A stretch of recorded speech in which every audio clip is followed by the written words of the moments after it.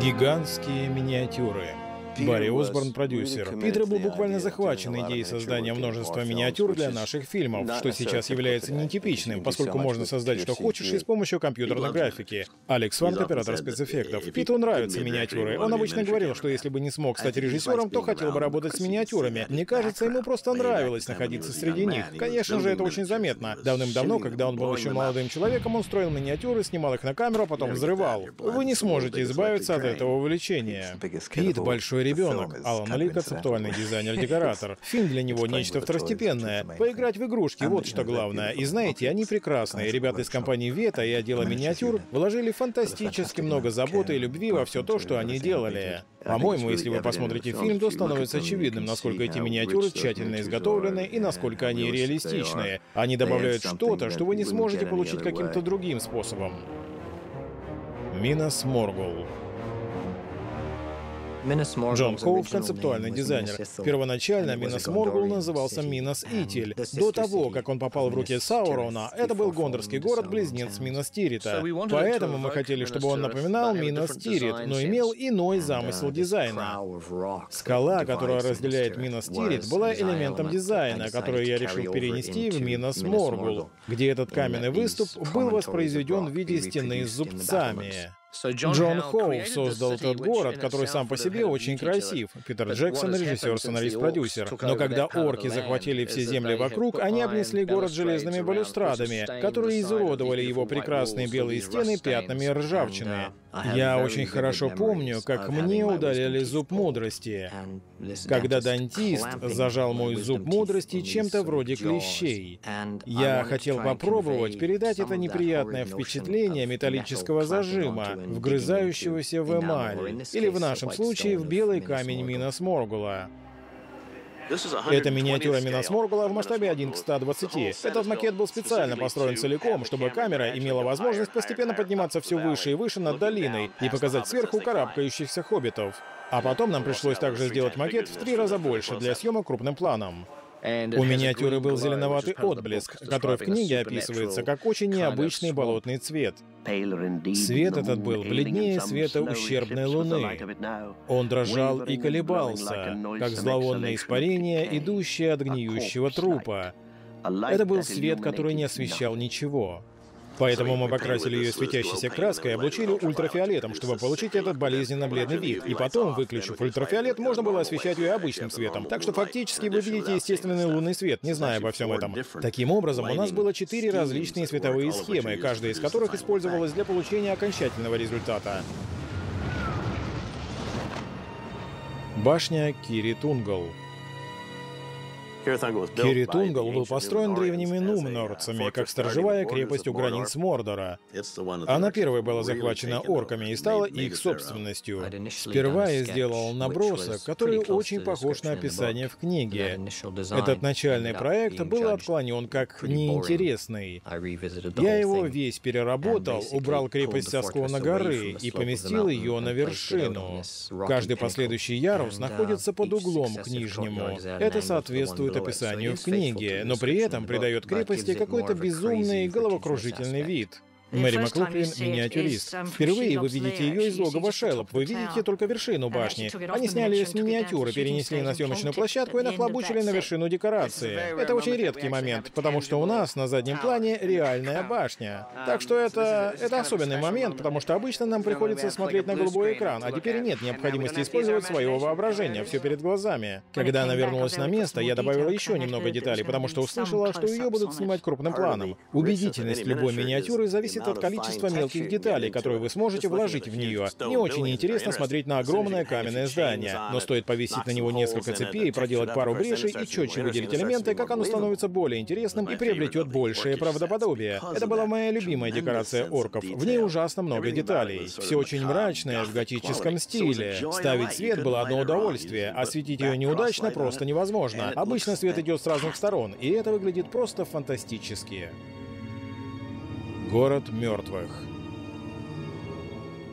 Помню, я долго размышлял, как следует сделать пути мертвых. Ведь Питер, не хотел показывать просто темную, глубокую дыру. Питер хотел, чтобы внутри был целый иной мир.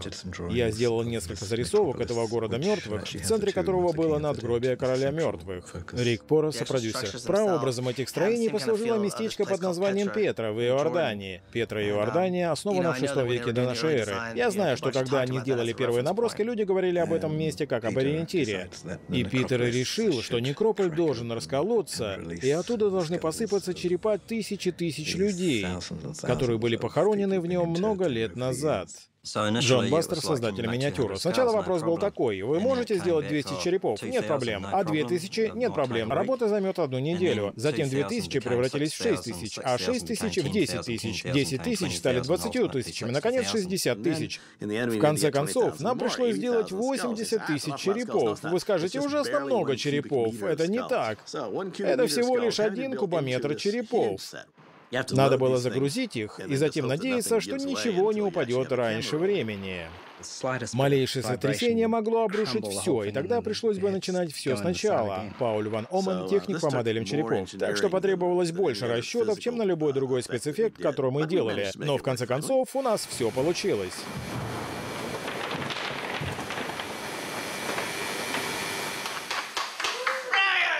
Отлично! Хорошая работа, ребята! Они также выполнили много съемок с полноразмерными черепами. Мотор.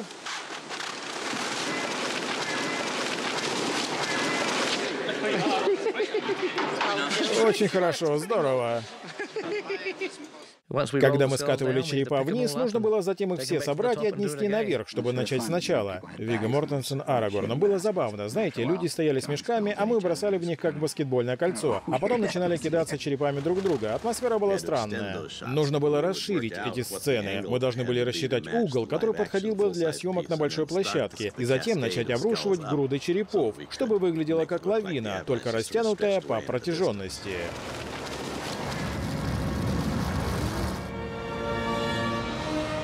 Минас Тирит.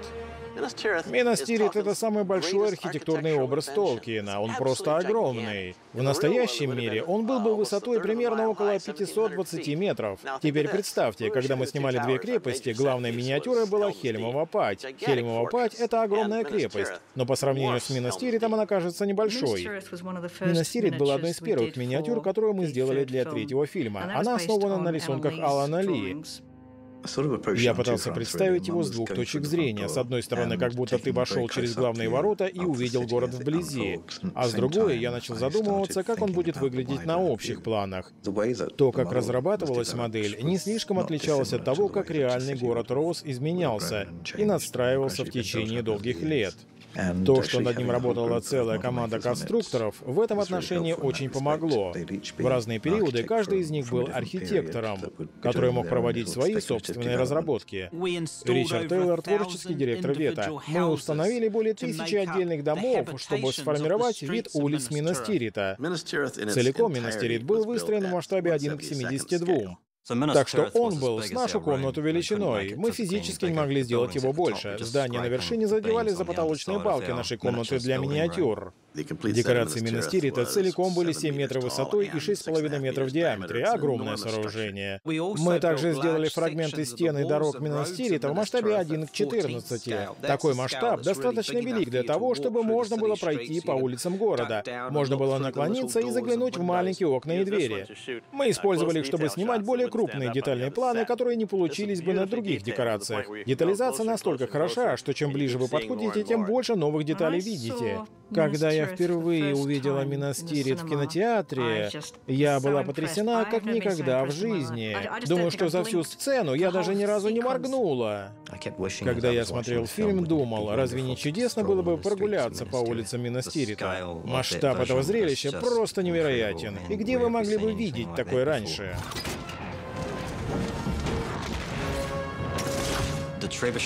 Требушеты в Минастирите, в отличие от катапульт, это копия средневековой военной артиллерии. Катапульты действуют как рогатка.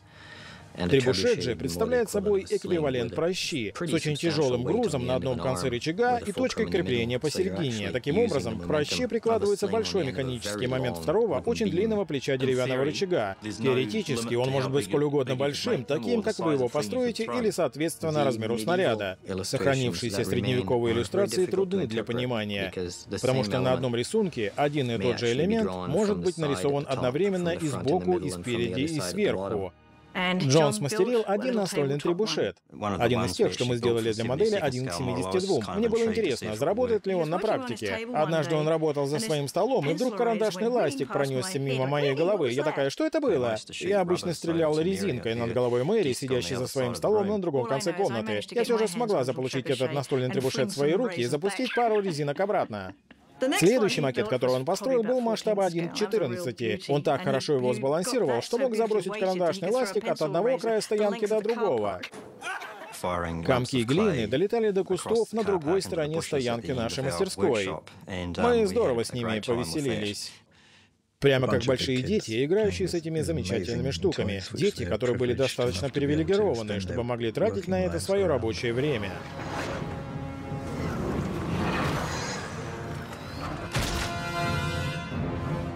Гронт. Гронт — это огромный таран с торцом в форме головы волка. Um, это один из тех очень редких графических элементов, которые Толкин написал точно. Осадные машины ползли по полю, и между ними покачивался на толстых цепях громадный таран длиною больше сотни футов. Долго ковали его в мрачных кузницах Мордора. Его передний торец из вороненой стали был отлит в виде головы скалящегося волка. Мы оттолкнулись от описания тарана, которое дает Толкин, и решили развить эту тему и сделать весь таран в виде массивного чугунного волка. Сама модель этого тарана, Гронда, была огромной, размером примерно с фургон. Он весь был покрыт свинцом, и поэтому был очень-очень тяжелый. Дэвид Ремон, создатель миниатюр. Работать со свинцом опасно, это токсичный металл. Мы не собираемся рисковать, поэтому всегда надеваем перчатки и стараемся как можно меньше до него дотрагиваться. С этим металлом приятно работать, потому что он мягкий и пластичный. Уоррен Мэхи, художник-скульптор. Мы также решили покрыть его надписями. Я знаю, что там много орфографических ошибок, ошибок в языке Мордора. Майкл Дозинский, создатель миниатюр. Знатоки Толкина могут прочитать это сами, но для всех остальных там говорится «Ни преграда стен, ни мощь врагов, ни сила духа не устоит против Гронда воли Мордора. Эта надпись продублирована на плечах и немного вокруг глаз. Вета сделали миниатюру Гронда, но она все время стояла на складе. Некоторые думали, что ее вообще не будут снимать, и в фильме она не появится. Но в самую последнюю минуту мы выкатили ее на съемочную площадку. Дин Райт, продюсер спецэффектов. Схема была такая. Гронд бьет ворота, а затем еще раз. И его нос пробивает их. Гронд ударяет в третий раз, и ворота распахиваются. Это как должно было быть, так сказать, в теории. Но когда мы начали снимать, в первый же раз Гронт пробил ворота насквозь.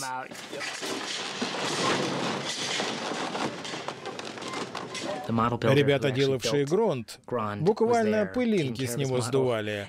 А моя работа была таранить им ворота снова и снова. Бедный парень, нужно было видеть его лицо. Он вчера здорово потаранил ворота и при этом сломал пару когтей, но мы выправили свинец заново, немного клея, и все готово. Я сломал коготь, я расплющил нос. Знаете, чего я только не делал. Но это не имеет значения, потому что это потрясающе, когда вы ощущаете силу удара, с которой он таранит ворота. Серые гавани. Корабль в Серых Гаванях уже существовал в виде концептуального эскиза, но мы попросили Алана сделать что-нибудь более конкретное. Я сделал пару рисунков общего вида, затем что-то вроде чертежа, и, наконец, рисунки корабля спереди, чтобы Джон мог начать. Джон — фанат кораблей. Он даже плавал навигатором на копии корабля капитана Кука. Он любит корабли, он досконально знает их, он построил свой собственный. У него есть небольшая парусная шлюпка, на которой он катается с семьей. Корпус получился очень быстрый быстро. Я абсолютно уверен, что мы бы сделали большую часть работы за 3-4 дня. Мы использовали фанерные рамы и диагональную фанерную обшивку. Носовую фигуру вырезал Ричард. Было здорово отправить Ричарда из офиса в мастерскую, где ему больше нравится. Пойдемте, выпьем пиво в лодке. Эта лодка действительно водонепроницаемая. Так что приятно думать, что однажды она сможет выйти в открытый океан. У нас нет возможности увидеть достаточно эльфийских кораблей, но она прекрасно выполнена и вполне отвечает нашим требованиям. Серые гавани должны были быть декорациями переднего плана с цифровым фоном на заднем плане, так что мы сделали миниатюру 1 к 14. Через год нам сказали, что нужно больше города. Так что мы вернулись к um, рисункам. И одним из моментов, повлиявших на серые гавани, были картины Тернера, на которых изображены экзотические гавани, освещенные заходящим солнцем. Картины Джозефа М.В. Тернера. Работать с этими декорациями было лучшей наградой за все наши труды. И я думаю, что одна из причин этого в том, что там отражено все, чему мы научились. Мы сделали столько больших моделей перед этим, что мы теперь отличная команда и можем очень многое. Так, вот ваша модель, следующий. Было интересно видеть, какой зрелости достиг их стиль и их техника. Это было прекрасно. Из всех отделов, делавших съемочный реквизит для uh, фильмов, самым преданным, самым трудолюбивым, да и работавшим дольше всех, был отдел миниатюр. Я не ставил своей целью издеваться над ними, но получалось так, что они никогда не останавливались и не знали, когда же закончат работу над «Властелином колец». Я думаю, это самая большая работа, которую выполняла съемочная команда, особенно отдел спецэффектов. Через некоторое время они стали слегка странными. Довольно часто на 200-й, 500-й, 666-й съемочный день у нас была очередная небольшая вечеринка. Белинда Лохоп, менеджер по производству. Я решила, что нужно устроить вечеринку, потому что это 666-й съемочный день, а такой исторический момент бывает нечасто. Брюс Макнот, техник. Вам придется простить меня за мою шею. Это наша вечеринка вечером 666-го съемочного дня. Дьявольская музыка и дьявольское оформление. Все в красных костюмах и все такое. Приветствуйте, главный королевский палач Марк и Волш. Затем все поднимались на сцену и показывали сценки. Было весело. А это Алекс Фанк собственной персоной.